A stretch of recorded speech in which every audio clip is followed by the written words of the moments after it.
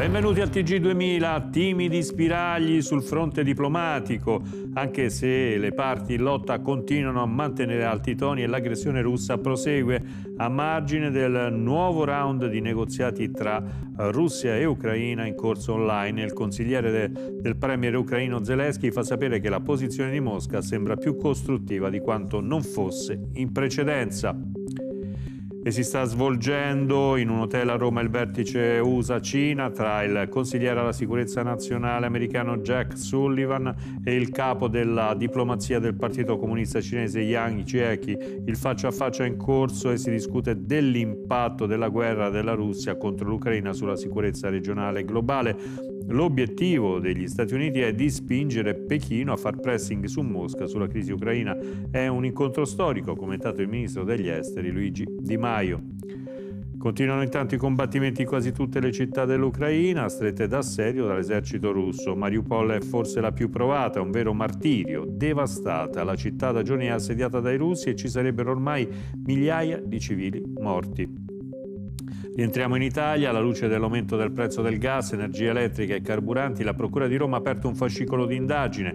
Si tratta di un procedimento al momento contro ignoti, senza indagati e senza ipotesi di reato. L'indagine è volta a verificare le ragioni di tale aumento ed individuare eventuali responsabili, spiega la Procura.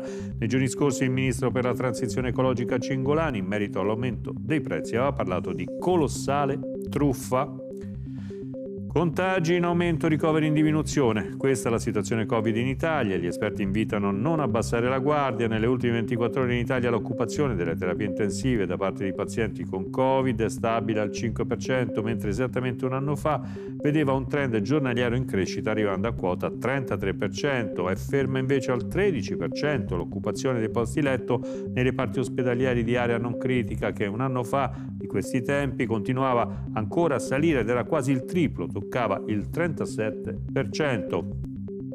Nascite e matrimoni, segnali di ripresa ma non di recupero, a dirlo i dati Istat. La dinamica demografica del 2021 continua a essere negativa. Al 31 dicembre la popolazione residente è inferiore di circa 253.000 unità rispetto all'inizio dell'anno. Nei due anni di pandemia il calo di popolazione è stato di quasi 616.000 unità, soprattutto per effetto del saldo naturale. Le nascite sono ancora in calo nei primi dieci mesi dell'anno, ma si osservano segnali di ripresa negli ultimi due mesi. Divo timido e seducente, interprete versatile e camaleontico, William Hart è morto una settimana prima del suo 72esimo compleanno. Serenamente in famiglia, per cause naturali, ha annunciato uno dei figli. Premio Oscar per il bacio della donna ragno nell'86, era stato candidato di nuovo alla statuetta nell'87 per figli di un dio minore e nell'88 per dentro la notizia. È tutto per questa edizione, prossimo appuntamento con il TG2000 alle 18.30. Buon proseguimento di giornata, arrivederci.